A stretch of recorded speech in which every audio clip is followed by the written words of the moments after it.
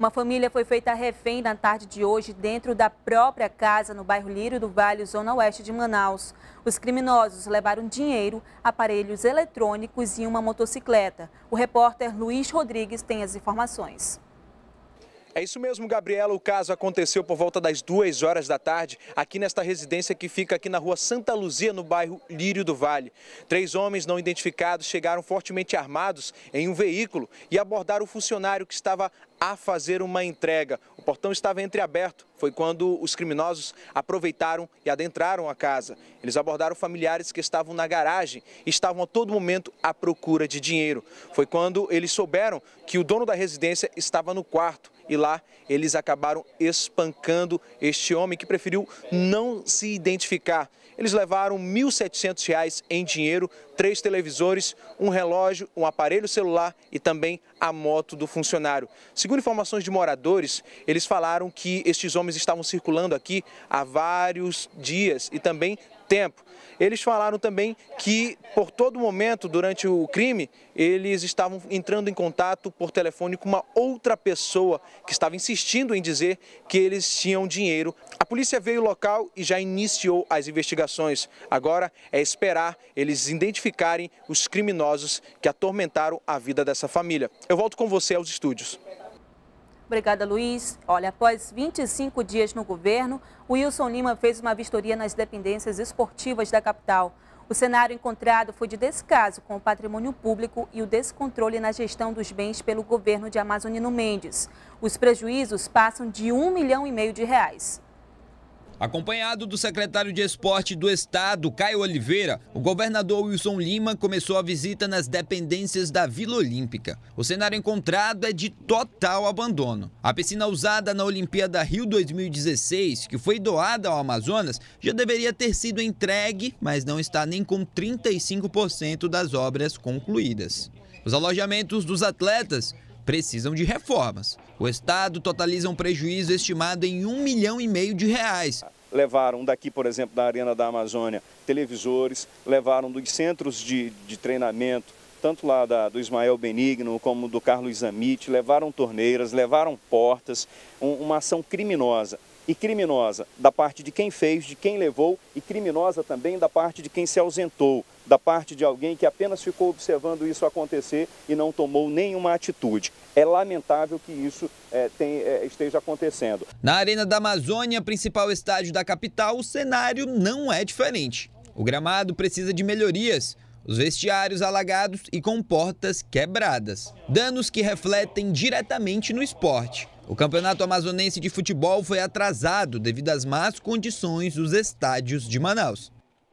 Um grupo de mães de crianças com deficiência realizou uma manifestação na manhã desta sexta-feira em frente à sede do governo do estado na Compensa, zona oeste da capital. As mães reivindicam assistência do poder público. Foi assim que os grupos Supermães e Mães Especiais encararam o sol desta sexta-feira, acompanhada dos filhos com deficiências. Elas reivindicavam a construção de um centro de reabilitação e a entrega de materiais de necessidades diárias para as crianças. Mais de 50 mães de pessoas com deficiências se reuniram para uma manifestação em frente à sede do governo. Eles estão reivindicando aí fraldas, remédios e também sondas de alimentação. No meu caso, meu filho tem mais de ano que não recebe fralda, então eu tenho que dar o meu jeito para comprar em supermercados. Segundo as mães, elas estão sem receber ajuda do governo desde o ano passado. Por isso, protocolaram um documento pedindo o retorno desse suporte, que tem um custo alto. Um bottom como esse, por exemplo, custa mais de mil reais. A minha briga é o bottom da minha filha. Bottom é uma sonda gástrica que se usa, que é direto para alimentação e medicação. Sem esse equipamento, a criança morre. A falta desse esse item causou até a morte de uma criança. Já aconteceu uma situação de uma criança passar mal e vir a óbito por causa da sonda, que a sonda deu infecção, porque é uma borracha que fica no estômago da criança. Até o projeto neurofuncional, oferecido para as crianças no Centro de Convivência Madalena Arcedal, no bairro Santo Antônio, não está funcionando. Nossa produção solicitou nota da Secretaria de Estado dos Direitos da Pessoa com Deficiência para comentar essa situação.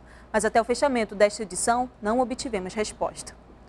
O presidente da Caixa Econômica Federal, Pedro Guimarães, visitou Manaus nesta sexta-feira. Ele anunciou a criação de novos serviços bancários e a construção de casas populares.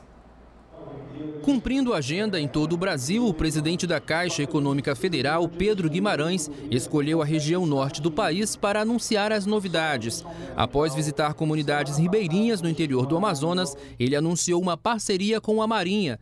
Quatro barcos itinerantes devem fazer atendimento bancário a comunidades isoladas na Amazônia. Mas o objetivo é ampliar fortemente essa parceria. E o que é interessante? Ao invés de ter custo, a gente vai reduzir o custo. Por quê? Porque a Marinha tem um know-how muito grande, então a gente pode discutir até alguém da Marinha para operar os barcos e, ao mesmo tempo, tem receita. A gente vai dividir parte dessa receita bancária com a Marinha. O presidente da Caixa elogiou a cidade de Manaus por ser uma das poucas a utilizar iluminação pública com luz de LED. Ele disse que deve levar, através de um projeto, a mesma qualidade de iluminação para municípios do estado. O presidente da Caixa disse que o Amazonas vai continuar sendo beneficiado pelo programa Minha Casa Minha Vida.